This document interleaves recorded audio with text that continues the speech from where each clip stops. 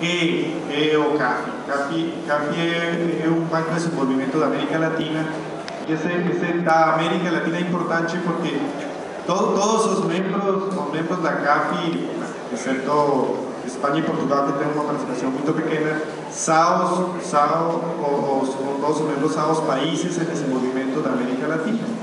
E, e Brasil é membro pleno da CAFI desde 2005 y, y tenemos, eh, tenemos o, eh, objetivo é, promover esse, esse desenvolvimento sustentável e a integração regional. Ahora, na próxima, eh, como, como fazemos esse, esse apoio?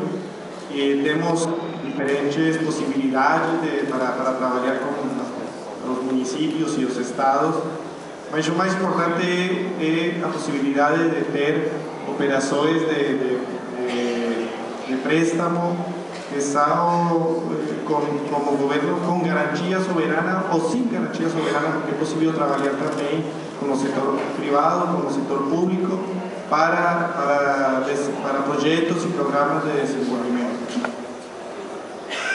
Na próxima, eh, temos, temos aqui os, os números da CAFI tem aprovações de 12,5 bilhões de dólares por ano, uma carteira de 24 bilhões de dólares e uma distribuição de 80% público e 20% privado.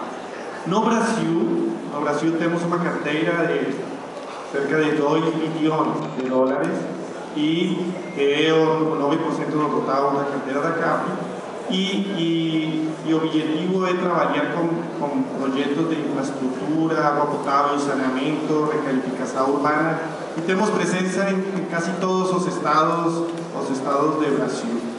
Eh, tenemos ainda algunos que precisamos trabajar más para tener una cobertura en todo, todo el país. Eh, eh, yo, quería hablar solamente complementando las presentaciones de los otros colegas, eh, que objetivo é, é trabalhar em intervenções eh, territoriais, não, não somente trabalhar em setor. E achamos que eh, é possível ter esses programas e projetos integrais e, e cinco, cinco setores, cinco dimensões.